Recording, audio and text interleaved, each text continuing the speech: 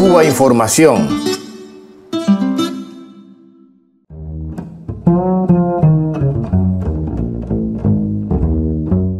La derecha venezolana y latinoamericana y el gobierno de Estados Unidos tienen mucha prisa por desalojar del gobierno a Nicolás Maduro.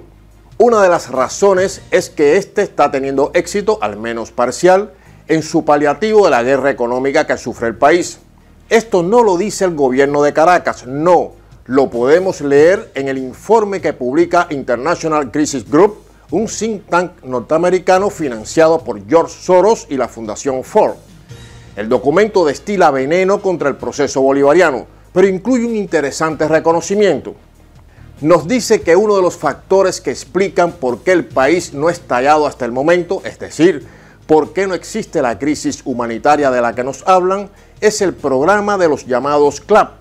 Es decir, leemos, la decisión del gobierno de desviar gran parte de la distribución de bienes básicos a precios controlados de los supermercados públicos y privados al sistema de comités locales de abastecimiento y producción, CLAP el informe añade que esta fórmula ha tenido el efecto de reducir las filas en supermercados y abastos, caldo de cultivo para el descontento popular.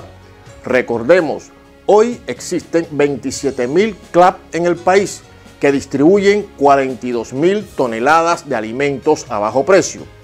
Este sistema ha evitado que el efecto combinado de la guerra económica y la bajada abrupta de los ingresos petroleros provoquen hambre en el país. Gracias a los CLAP, la población más pobre de Venezuela tiene una garantía de seguridad alimentaria frente a los despiadados circuitos de acaparamiento y especulación. Por eso la oposición, la OEA y la Casa Blanca tienen tanta prisa, porque el petróleo sigue recuperándose y los CLAP funcionando.